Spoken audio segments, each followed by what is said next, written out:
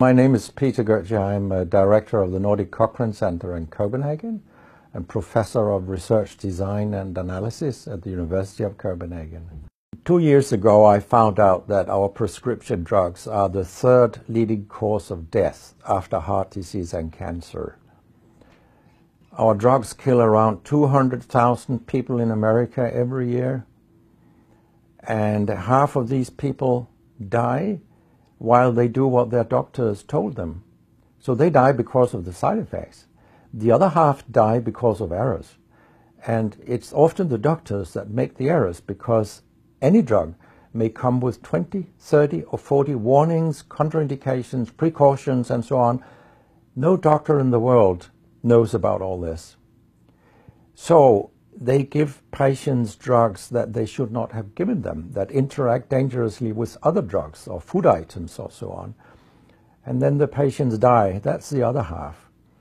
So uh, the other thing I found out two years ago was that um, uh, much of what the drug industry does fulfills the criteria for organized crime in US law.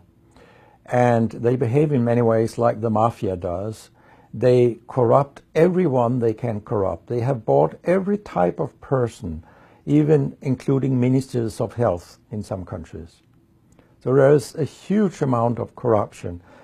In, in my country, for example, Denmark, we are regarded as having very little corruption. But yet we have thousands of doctors on industry payroll, although we are just 20,000 doctors. So this is an effective kind of corruption. The drug industry buys the professors first, then chiefs of department, then other chief physicians and so on. They don't buy junior doctors. So when several thousands are on industry payroll, it's really, really bad. And that's why I wrote my um, book, uh, Deadly Medicines and Organized Crime, How Big Pharma Has Corrupted Healthcare.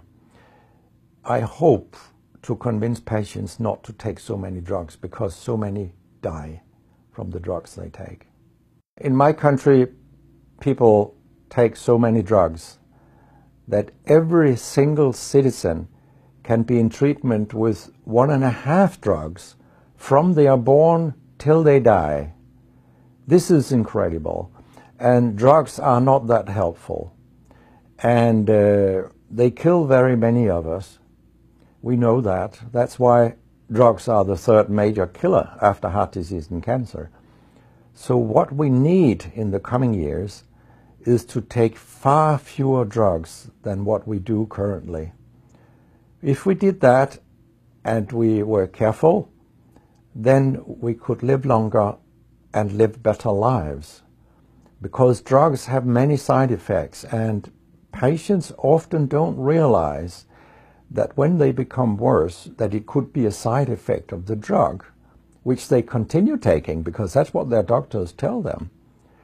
So when I was a specialist in internal medicine, uh, what I very often did was that I stopped a lot of drugs, particularly in elderly people, and it's it's quite revealing to see a bedridden elderly person come into your ward, and when you stop the drugs, I mean that person becomes many years younger and, uh, and uh, many of these drugs affect the brain. And old people tolerate that very, very badly. They fall, and when they break a hip, a quarter of them die. And for example, antidepressant drugs are used in more than 10% of our elderly. And um, uh, they seem to kill 3% of them every year.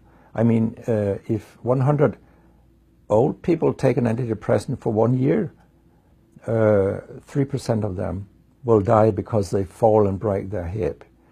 This is a huge death rate.